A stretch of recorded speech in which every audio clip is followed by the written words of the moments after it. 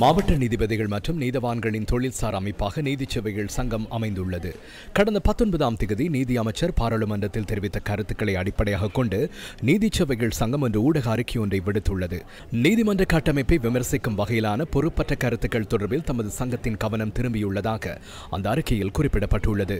முழுமையான நீதிமன்ற கட்டமைப்புக்கு அழுத்தம் ஏற்படுகின்ற வகையில் முன்வைக்கப்படுகின்ற இந்த விமர்சனங்கள் அரசியல் ரீதியிலான தமது இருப்பை சவாலுக்குட்படுத்தும் வழக்குகளின் போது நீதிமன்றம் வழங்கிய சட்டபூர்வமான தீர்ப்புகள் காரணமாக ஏற்பட்ட அதிருப்தியின் வெளிப்பாடு எனவும் நீதிச்சபைகள் சங்கம் சுட்டிக்காட்டியுள்ளது. மேற்கோள் ஆரம்பம்.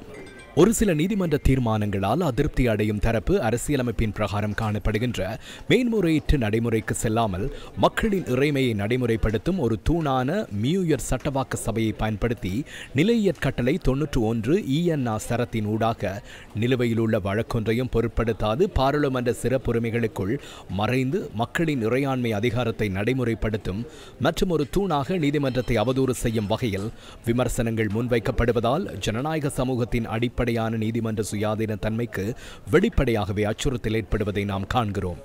மேற்கோள் நிறைவு. நீதிபதிகளுக்கு தனிப்பட்ட ரீதியில் களங்கம் ஏற்படும் வகையிலான கருத்துக்களை உருவாக்குவதன் இறுதி விளைவாக அவர்கள் துணிச்சலாகவும் பக்கசார்பின்றியும் நீதிமன்றத்தின் சுயாதீன தன்மைக்காக வலுவாக முன்னிற்பது தடுக்கப்பட்டு வெளித்தரப்பு சக்திகளுக்கு தேவையான வகையில் வழிநடத்தக்கூடிய வலுவற்ற நிலை உருவாகும் எனவும் நீதிச்சேவைகள் சங்கம் சுட்டிக்காட்டியுள்ளது. கொழும்பு முன்னாள் பிரதம நீதவான் மற்றும் கல்கிச முன்னாள் நீதவான் ஆகியோரை இலக்காக கொண்டு முக்கியமாக கருத்துக்கள் தெரிவிக்கப்படுவதாகவும் அந்த சங்கத்தின் அறிக்கையில் தெரிவிக்கப்பட்டுள்ளது. இதன் ஒரு அங்கமாக நீதிச்சேவைகள் ஆணைக்குழுவின் தற்போதைய செயலாளரை அந்த பதவியிலிருந்து அகற்றுவதற்கான போலி கருத்தினை உருவாக்கும் திட்டம் ஒன்றும் அரங்கேற்றப்பட்டுள்ளதாக நீதிச்சேவைகள் சங்கம் தெரிவித்துள்ளது. நீதிமன்ற கட்டமைப்பு மீது விடுக்கப்படுகின்ற வெளித்தரப்பு அழுத்தங்களிலிருந்து நீதிபதிகளை பாதுகாப்பதற்காக கடும் பிரயத்தனங்களை மேற்கொள்ளும் நீதி நீதிச்சேவைகள் ஆணைக்குழுவின் செயலாளரை பாதுகாப்பதற்கு தாம் நிபந்தனையின்றி முன்னிற்பதாகவும் அந்த சங்கம் வலியுறுத்தியுள்ளது. நீதி அமைச்சர் என்பவர் நீதிமன்ற உறுப்பினர் அல்லாத போதிலும் வெஸ்ட்மினிஸ்டர் பாராளுமன்ற முறைமையில் நீதிமன்ற சுயாதீனத்தன்மை மற்றும் நல்லாட்சிக்கு ஏற்படுகின்ற வெளித்தரப்பு அழுத்தங்களின் போது நீதிபதிகள் தமது தொழிலின் உயரிய பண்பு காரணமாக அதற்கு எதிராக செயற்பட முடியாததால் பாராளுமன்றம் அல்லது நிறைவேற்ற அதிகாரம் அல்லது அதற்கு வெளியே நீதிமன்றத்தின் கௌரவத்தை பாதுகாக்கும் ஒருவராக இருந்து வந்துள்ளதாக நீதிச்சபைகள் சங்கம் சுட்டிக்காட்டியுள்ளது.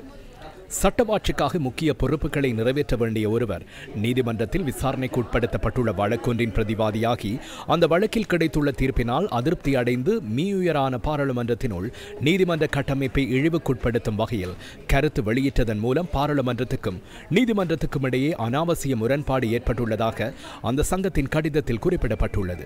பாரதூரமான மற்றும் அழிவை ஏற்படுத்தக்கூடிய இந்த அழுத்தத்தை தோற்கடிப்பதற்கு நிபந்தனையின்றி செயற்பட வேண்டியுள்ளதாகவும் நீதிச்சபைகள் ஆணைக்குழு வலியுறுத்தியுள்ளது.